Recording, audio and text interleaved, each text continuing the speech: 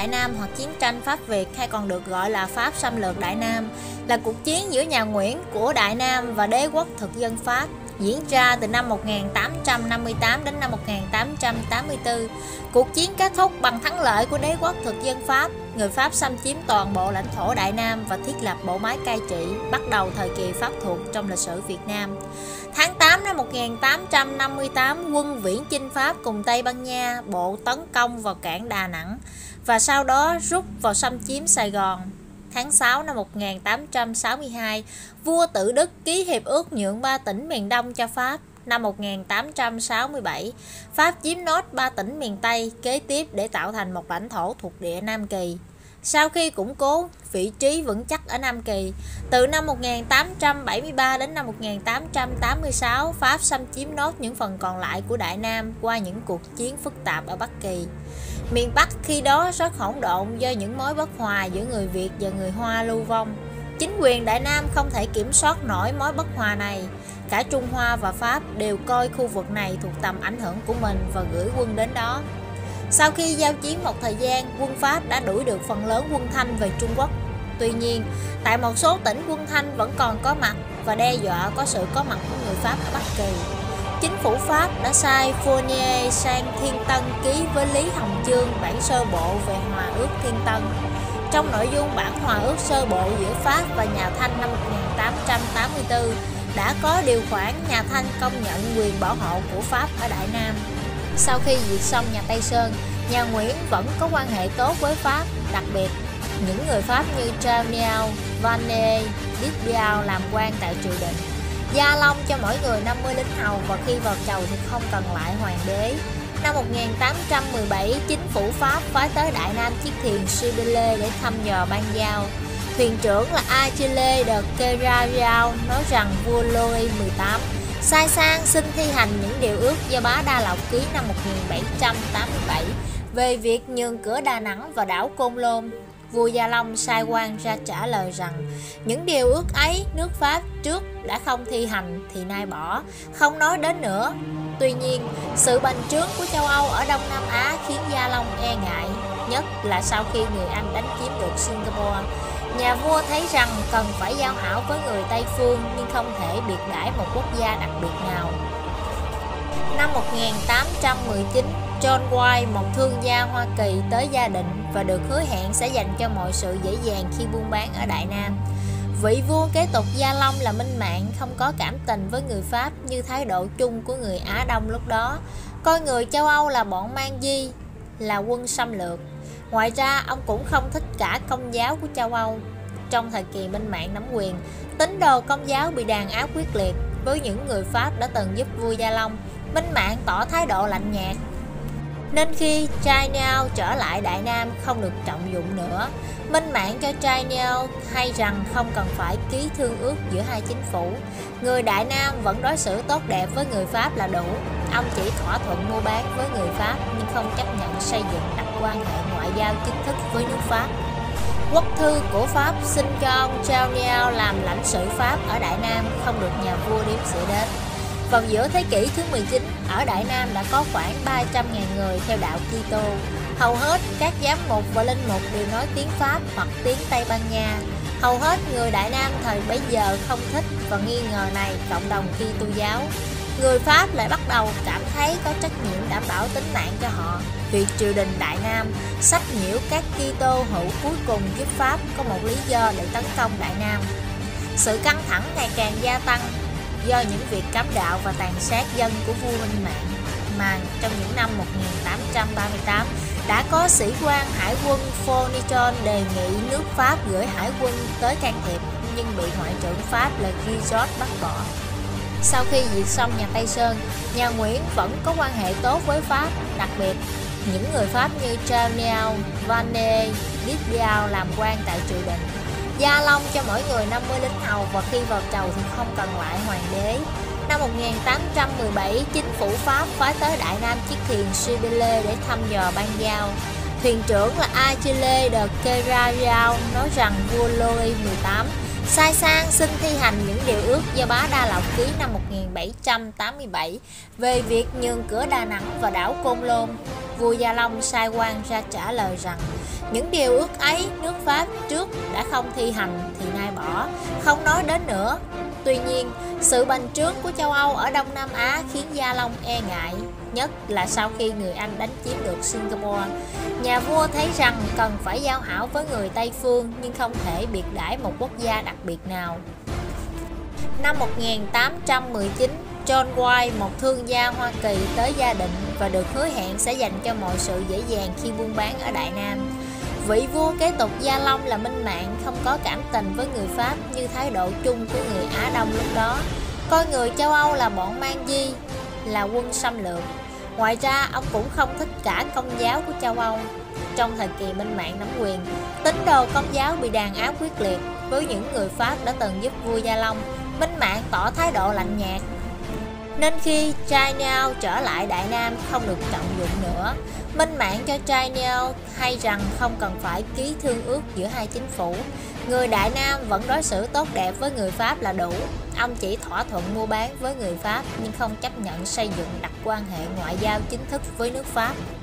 Quốc thư của Pháp xin cho ông Charnier làm lãnh sự Pháp ở Đại Nam, không được nhà vua điếm xỉa đến.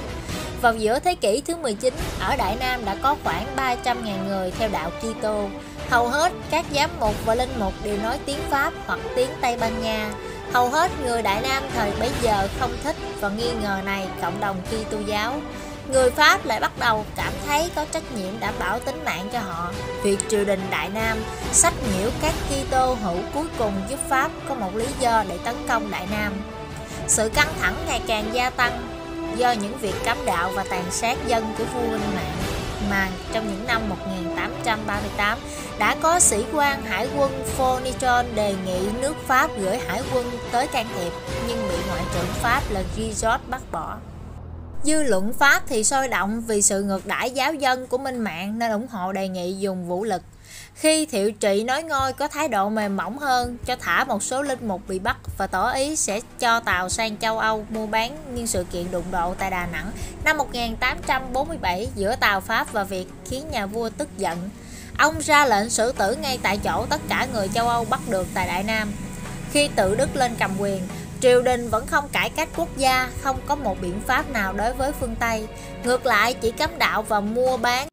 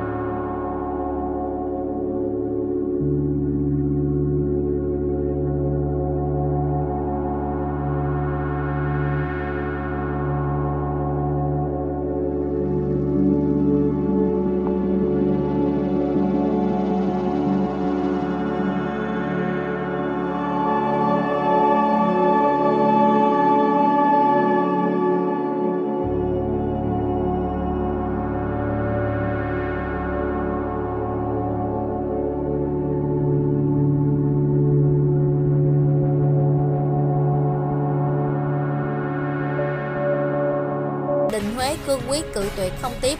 Trước khi rút lui về nước, ông đã đe dọa sẽ dùng vũ lực để trừng phạt nếu không đình chỉ việc cấm đạo. Đồng thời, ông cũng cấp báo về nước yêu cầu cử binh chiếm gấp Nam Kỳ. Trước khi xuống tàu về nước, ông còn đưa giáo sĩ Pellegrin về Pháp yêu cầu Napoleon III cử binh sang Đại Nam để bên vực những người theo đạo. Pellegrin kêu gọi Napoleon III đưa quân sang xâm lược Việt Nam và ông sẽ là người dẫn đường cho quân Pháp. Hội truyền giáo ngoại quốc ở Paris ủng hộ cuộc vận động của Pellegrin. Tây Ban Nha đang bất bình vì linh mục Diaz bị giết nên vẫn lòng liên minh với Pháp đánh Đại Nam.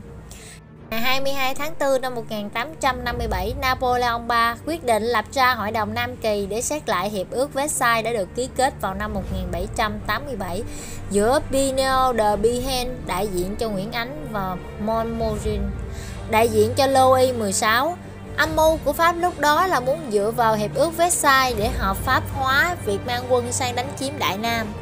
Nhưng trong thực tế thì hiệp ước đó đã bị thủ tiêu ngay sau khi ký kết.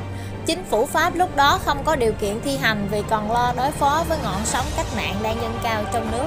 Họ không thể dựa vào cớ thi hành hiệp ước để đưa quân chiếm đóng Đà Nẵng, Côn Đảo, đòi độc quyền thương mại và tự do truyền đạo ở Đại Nam như các điều khoản của hiệp ước đã ghi. Mặc dù vậy, người Pháp vẫn quyết định cử quân sang đánh chiếm Đại Nam, lập luận rằng việc đem quân đánh chiếm Nam Kỳ đã từ lâu nằm trong dự kiến của nước Pháp, đến nay thi hành chẳng qua chỉ là tiếp tục truyền thống cũ trung thành với một quốc sách đã được các chính phủ tiếp tục theo đuổi qua các thời kỳ mà thôi. Tháng 7 năm 1857, Napoleon III quyết định can thiệp vào Đại Nam bằng vũ lực. Pháp đã lấy cớ trả thù việc triều đình Huế không tiếp nhận quốc thư của Pháp do tàu chiến Catina đem đến vào tháng 9 năm 1856 vì cho là làm nhục quốc kỳ Pháp. Mặt khác, họ còn lấy cớ bên vực đạo truyền bá văn minh công giáo để tranh thủ sự đồng tình ủng hộ của dư luận công giáo ở Pháp và Đại Nam. Có quan điểm cho rằng nguyên nhân sâu xa bên trong của âm mưu xâm lược là do nhu cầu tìm kiếm thị trường và căn cứ ở Viễn Đông, nhất là ở miền Nam Trung Quốc của chủ nghĩa tư bản Pháp đang chuyển mạnh lên con đường đế quốc thực dân. Đó là cuộc chạy đua giành giật thị trường giữa Pháp với các nước tư bản khác ở khu vực biển Đông, đặc biệt là Anh. Năm 1857, tự Đức lại cho xử tử hai nhà truyền giáo Tây Ban Nha. Đây không phải là đầu tiên nhưng cũng không phải là sự cố lớn nhất. Và lần trước, chính phủ Pháp đã bỏ qua các hành động khiêu khích kiểu này. Nhưng lần này, tự Đức hành xử không đúng thời gian vì hiện đang diễn ra cuộc chiến tranh Nha phiến lần thứ hai. Quân đoàn viễn chinh của Anh và Pháp được gửi đến vùng Viễn Đông để trừng phạt Trung Quốc và kết quả là người Pháp có thừa quân trong tay để can thiệp vào tình hình Đại Nam. Tháng 11 năm 1857, Hoàng đế Napoleon III của Pháp ra lệnh cho đô đốc đem một đoàn viễn chinh sang trừng phạt Đại Nam. Tháng 9 năm 1858, Liên quân Pháp và Tây Ban Nha đã cập bến tại Đà Nẵng và chiếm được bán đảo Sơn Trà cùng hai xã Mỹ Thị và Cẩm Lệ nhưng bị quân đội Đại Nam cầm chân tại đây.